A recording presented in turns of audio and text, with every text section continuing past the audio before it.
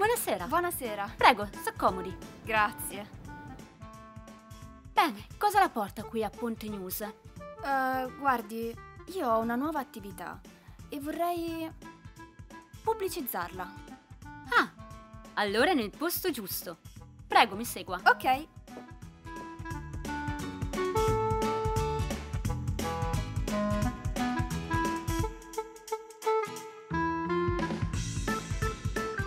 Video spot professionali in 4K per la tua attività.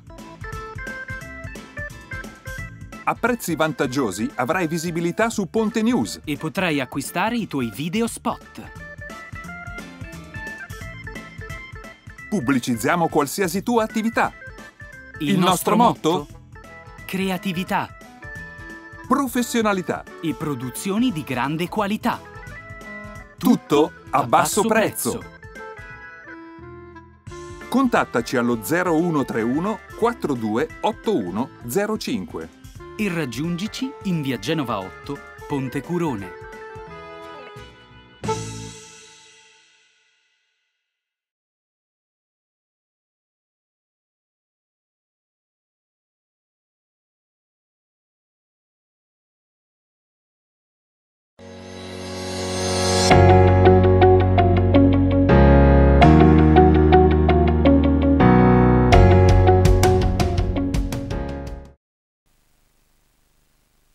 Un saluto da Ponte News. Nella giornata di mercoledì 24 novembre è avvenuta a Novi Ligure la presentazione del progetto Laboratorio di Scrittura Creativa, finalizzato alla realizzazione di un libretto a cura di Lorenzo Oggero. In questo libretto si racconta della fiera di Santa Caterina, una delle fiere più importanti a Novi Ligure. Servizio.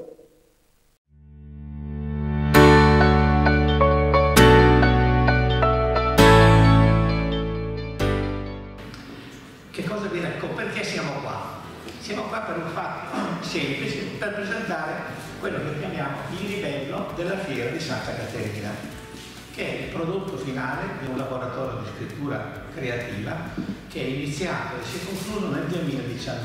sapere, nell'anno del Signore 2019 la fiera di Santa Caterina si è fermata. Tra una riga e l'altra, i ricordi su carta. È tardo pomeriggio, strani lampi forano la foschia autunnale. C'è un gran brusio che fa da sottofondo ai rumori della città. Musica sparata segna il ritmo di battiti veloci. La fiera di Santa Caterina è stata raccontata tra le pagine di un giornalino, un progetto a cura di Lorenzo Oggero, presentato durante l'incontro dall'assessore alla cultura Andrea Sisti. Un mix di ricordi condivisi con i presenti il giorno mercoledì 24 novembre. I ricordi non sono stati raccontati solo a parole, ma anche con foto e disegni. Creatività a 360 gradi. Un'iniziativa che ha coinvolto anche i più piccoli, che ammagliati dalla fiera partorita da oltre 400 anni, hanno raffigurato momenti di gioia durante la festa. Commercianti ed artigiani uniti per far annaffiare un bellissimo fiore. Novi Ligure. La fiera di Santa Caterina tra le migliori sorgenti.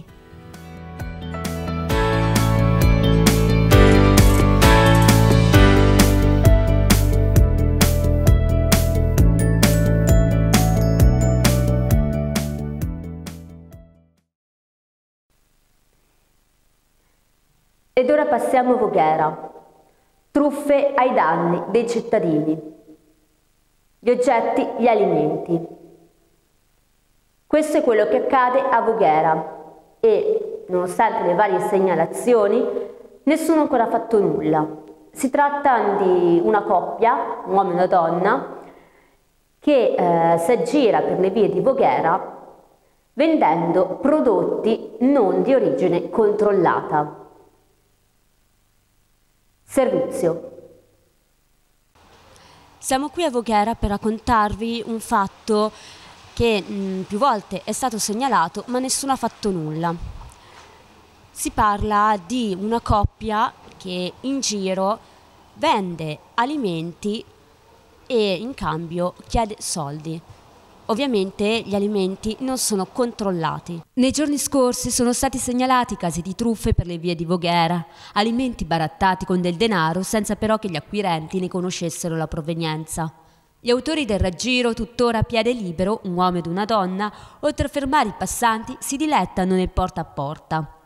Perché scegliere i prodotti di origine controllata?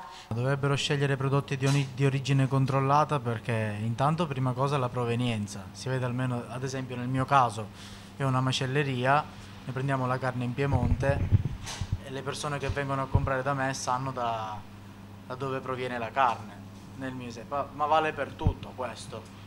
Quindi per evitare di essere truffati è molto importante eh, vedere l'origine degli alimenti. Sebbene sia scontato quanto affermato, alcuni acquirenti, ghiotti probabilmente dal prezzo stracciato dei prodotti, sono caduti nel tranello. Allora, I cittadini dovrebbero scegliere sicuramente i prodotti controllati, con una, una filiera controllata, perché innanzitutto per motivi di salute, e sono sicuramente appunto controllati e testati e tutto e quindi eh, sono sicuramente più sicuri. 25 di novembre, giornata internazionale contro la violenza sulle donne. E nonostante questo ci sono stati casi di violenza gratuita, tra l'altro sotto gli occhi di tutti, ai danni delle donne.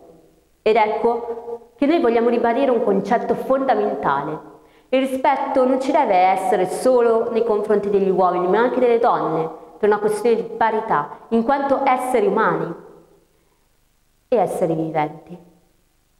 Ed ecco che il Comune di Voghera ha disposto delle iniziative per il 25 di novembre per ricordare la vicinanza alle donne vittime di violenza tra l'altro ricordiamo il 1522 da poter contattare 24 ore su 24 attivo in caso di bisogno. Servizio.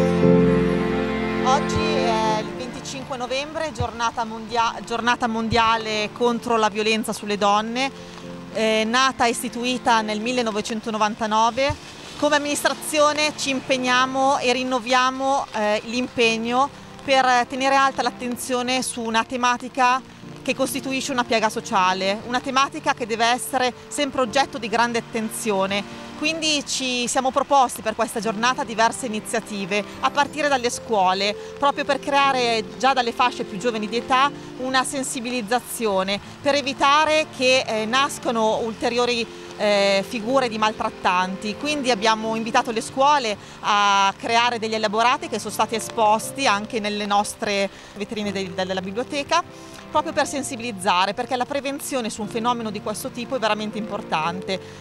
Ancora troppe poche donne denunciano, denunciano episodi di violenza, lo vediamo, lo vediamo, negli episodi quotidiani di cronaca, che purtroppo episodi di violenza posti in essere da partner o ex partner poi purtroppo sfociano in, uh, in femminicidi.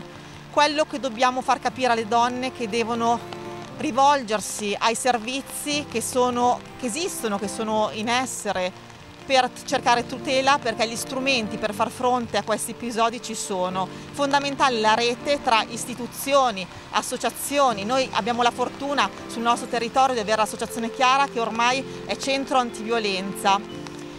Dicevo che la rete è veramente fondamentale e ehm, insieme alle forze dell'ordine l'obiettivo è proprio cercare di eh, portare avanti questa lotta contro la violenza di genere che sappiamo che essere una violenza psicologica, fisica e anche a volte economica, legata poi eh, anche alla violenza assistita che purtroppo eh, di cui sono vittime anche i minori e i bambini e i figli.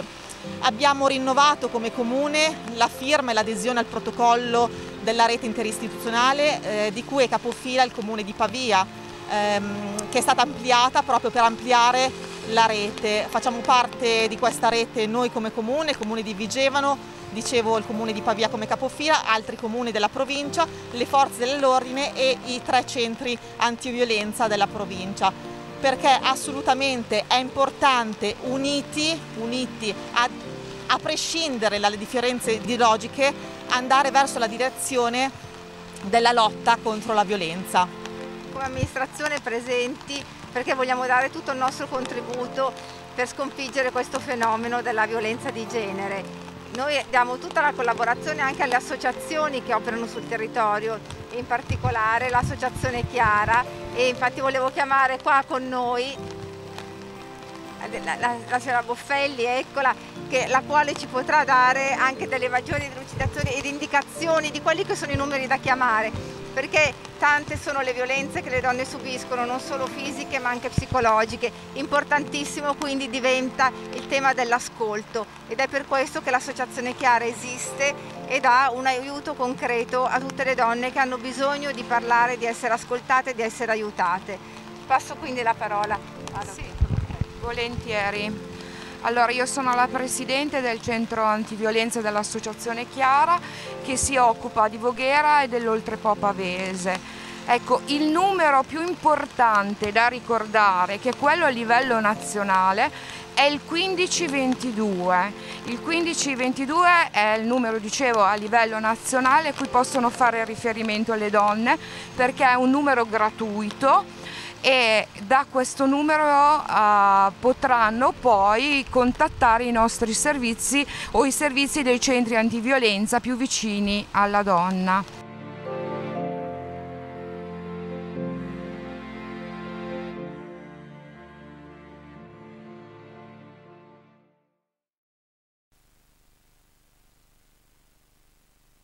Per ora è tutto. Vi ringraziamo per essere stati con noi e alla prossima.